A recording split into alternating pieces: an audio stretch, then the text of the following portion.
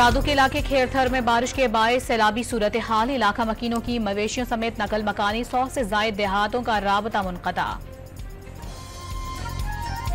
کرک کے علاقے احمد آباد، باب الخیل میں برساتی نالا عبور کرتے ہوئے نانا اور نواسا ڈوب گئے۔ ساٹھ سالہ شخص کی لاش نکال لی گئی، بچے کی تلاش جاری۔ پاکستان پیپلز پارٹی کے رہنما نیئر بخاری کا حکومت کو اسمبلیاں تحلیل کر کے نئے انتخابات کرانے کا مشورہ۔ حکومت کو خطرہ ہے تو اسمبلی تحلیل کر کے نئے انتخابات کرا لیں۔ نیئر بخاری کا بیان۔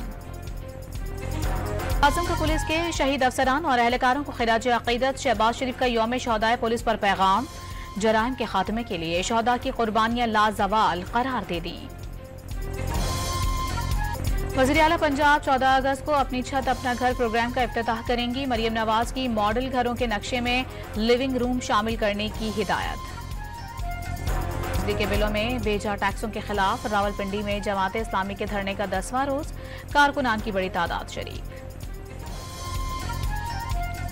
اور لبنان پر اسرائیلی حملے میں حزب اللہ کے اہم کمانڈر علی نازی عبد الشہید جواب میں حزب اللہ نے شمالی اسرائیل پر راکٹوں کی بارش کر دی۔